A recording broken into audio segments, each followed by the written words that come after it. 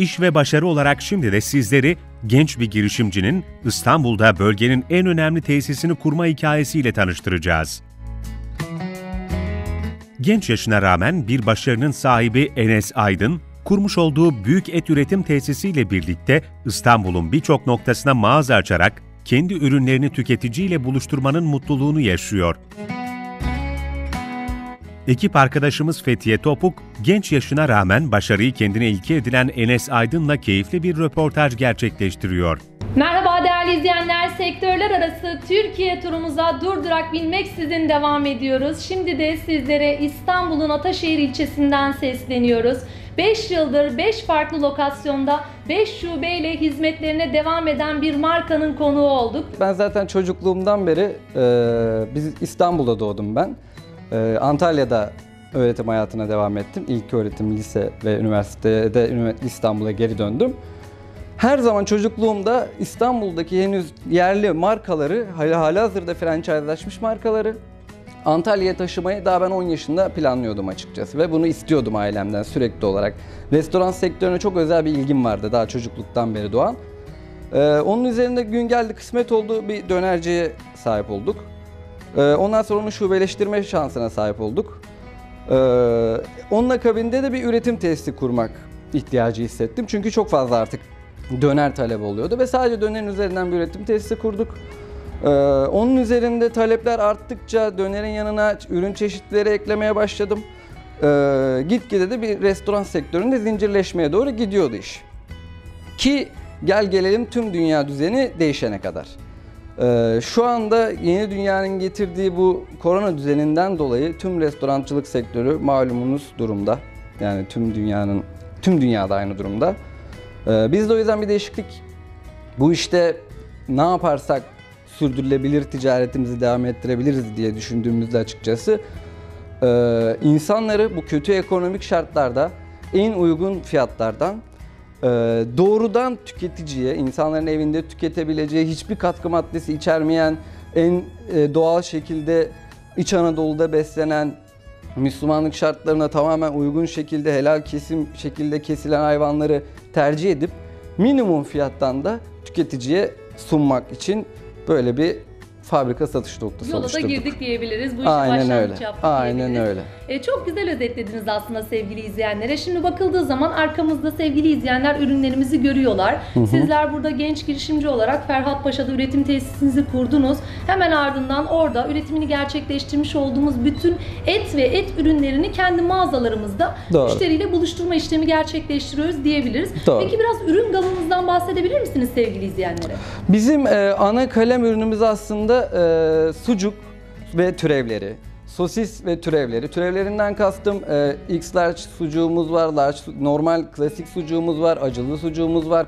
e, özel bir peynirle ürettiğimiz sucuğumuz var. Çeşitleri var ürünlerimizin. Ama ana kaleme gelecek olursak sucuk, salam, kavurma ve sosis.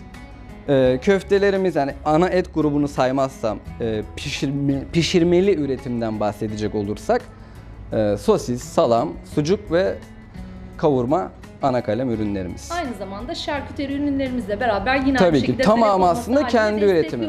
Tabii ki ben izleyenler. e, İç Anadolu'dan doğrudan hayvanları hayvancılardan topluyorum. Fabrikamda en e, temiz, en hijyenik ortamda hazırlıyorum. Ve benim mağazalarımda parçalanma, kasapçılık hiçbir iş yapılmıyor.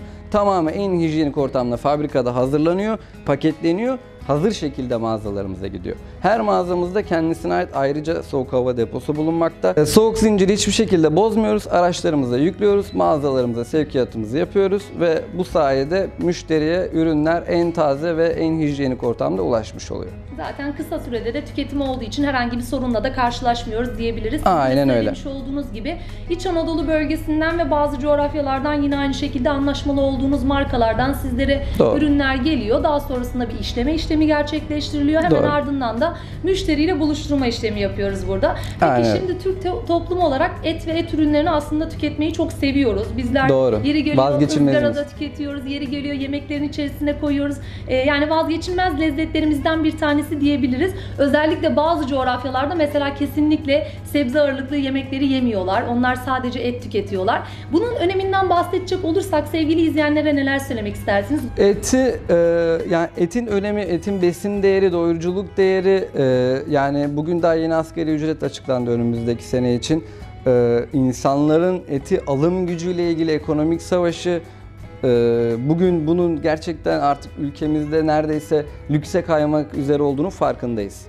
Bu yüzden dolayı da bunu e, herkesin yemesi gerektiğini düşündüğümüz için herkesin alabileceği fiyatlarda tutma mücadelesi veriyoruz. Bunu artık e, bu markayı oluştururken bunu biz ette zaten yapıyorduk.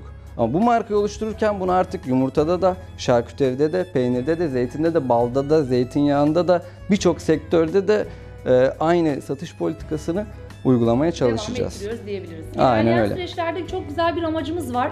Dilerseniz ona da çok kısa değinelim. Yani kendi markamızı tabii ki İstanbul genelinde, Anadolu yakasında herkesin çok kolaylıkla ulaşım sağlayabilecekleri noktada sizler hizmetlerinize devam ettiriyorsunuz ama e, mesela örnek veriyorum Doğu'dan, Karadeniz'den, Batı'dan, Kuzey'den, Güney'den yine aynı şekilde talep olması halinde kendi markamızı büyütme gibi bir hedefimiz var mı? Ee, Şimdi şunu şöyle özetleyebilirim. Şu anda ben e, bu az önce bahsettiğim olaylara o kadar hassas yaklaşıyorum ki İstanbul'daki Avrupa'ya köprünün öbür ucuna bile geçmiyorum. Neden? E, çünkü sevkiyat, tazelik, e, yakınlık bunlar şu anda bana hep avantaj olarak dönüyor. O yüzden dolayı ilk etapta İstanbul Anadolu yakasında bulunmayı planlıyoruz. Ama önümüzdeki yılın ikinci yarısında böyle planımız var. Önümüzdeki yılın ikinci yarısından sonra artık tüm İstanbul ve akabinde de tüm Türkiye'ye Allah izin verirse hizmet edeceğiz.